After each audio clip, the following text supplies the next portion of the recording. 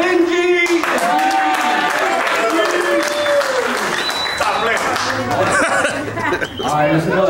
Uh, you know, I, have been so nervous since last night. Uh, today I walked into 7-Eleven, uh, grabbed my coffee, made my coffee, and walked out without paying.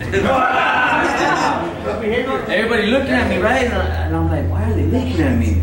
I'm like, oh shit, I didn't pay. So I went back in, paid for it. Boom. So now I'm here. Um, I'm gonna talk about willingness.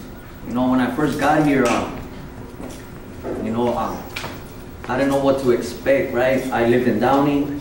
I had to take four trains to get here and four trains to get back.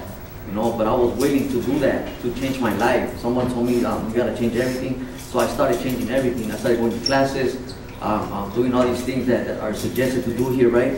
And um, what are you willing to do to change your life? You know, that's what I'm asking you guys.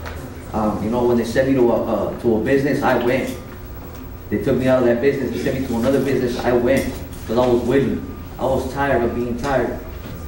You know, the lifestyle, the drug addiction, um, I had to change everything. So I started changing everything with willingness. You know, I was willing to do that. Now ask yourself, are you willing to do that? Thank you.